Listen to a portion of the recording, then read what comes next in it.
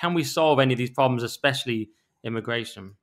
You can solve immigration overnight if we had a leader with balls. It really is that simple. You can stop the boats within a fortnight. You can stop heavily reduce legal migration over a year or two, and then, then get it down to practically zero. Because that's what the public want. All this can be done. We haven't got politicians who are who are willing to sacrifice their careers to try to achieve it. The first thing we need to do is write a letter to the European Court of Human Rights saying, "Hello, we've left." That's it, and then we've left, and then we can do what we want. And it, it really is that simple. Some of the problems we've got are really complicated. Immigration isn't complicated at all. We pull out of the Convention of Refugees, the 1954 United Nations Convention on Refugee, would pull out of that because that's not fit for purpose anymore now. And we say to, we say to the world, we're going to do what we want to do, and we don't need to be members of the European Court of Human Rights because we've never had issues with human rights in the first place in this country. We helped develop that court to stop mainland Europeans killing each other, and and us going back over there to sort them all out. That's why we created that court. We didn't do it because we've got a problem. We've never had a problem. We're the country the world, the rest of the world needs to look up to and do look up to saying that's the country we need to copy. And we need a leader to take us back to those great heights where we're the country people want to emulate.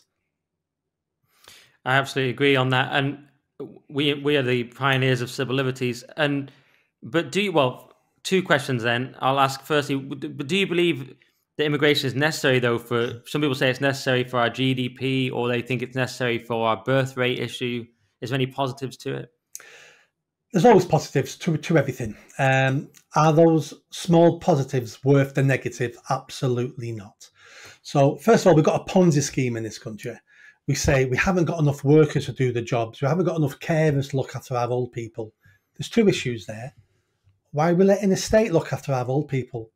Families need to be looking after their elderly people. I'm tired of us throwing out old people onto the trash heap and letting strangers look after them. That's what families need to do. So that, that's something where we're letting our families down. But the more people we allow to come into the country, in 50 years from now, we need even more people to look after them. It's a Ponzi scheme. This all collapses at some point.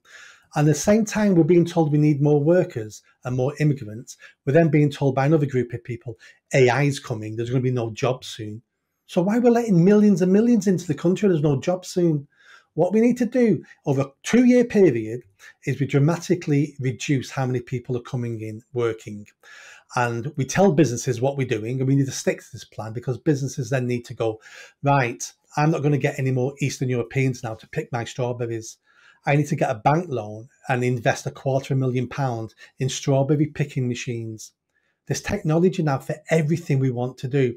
Google later strawberry picking machine. These robots that go onto the fields, it only picks ripe strawberries because it looks at the colour and analyzes the colour of the berry, and, and and it does that, and it picks them. We've got machines and technology for everything almost. So let's get people investing in that and give them a couple of years to do it, and we keep knocking down how many people are coming over. And then we need to look at British citizens who are sat on the dole. We've made it far too comfortable. So I can go down a, a route now of saying, punish those people. Let's forget about punishing them.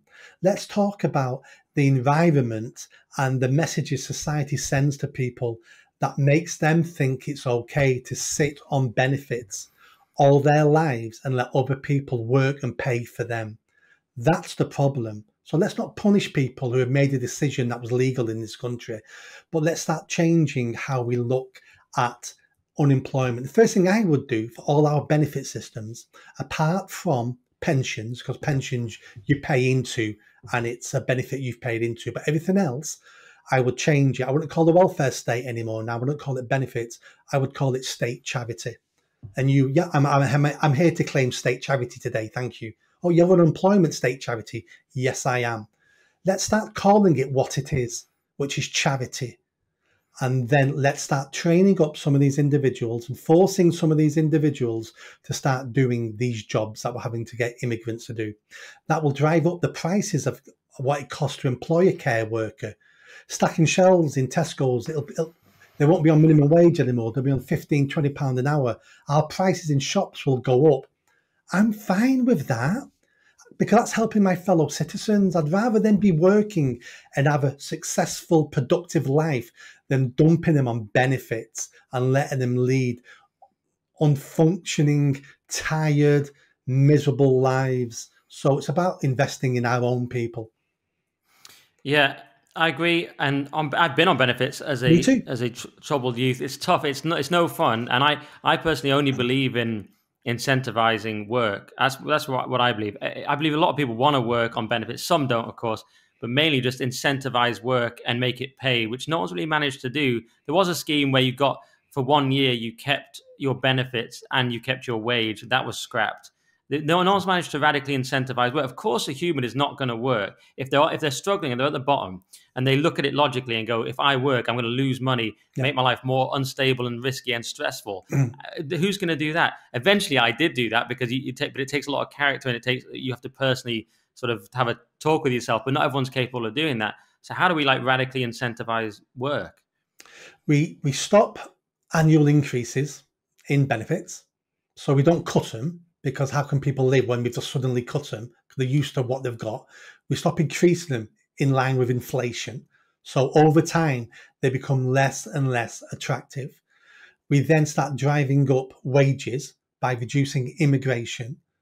And then we start trying to introduce, for many of our issues, societal shame, where people are ashamed to be claiming benefits, are ashamed to be unemployed because you look down upon in society and, and society needs to take some responsibility for this. When I was a kid growing up on a tough council estate, I said, all, all my friends, apart from one, had a dad at home and they all worked. And we lived on a really poor, tough council estate. And in nearly every household, adults were working. But that culture now is gone. And the culture is sign on, our education's to blame. We, we don't teach our kids now any work ethics, um, how to get a job.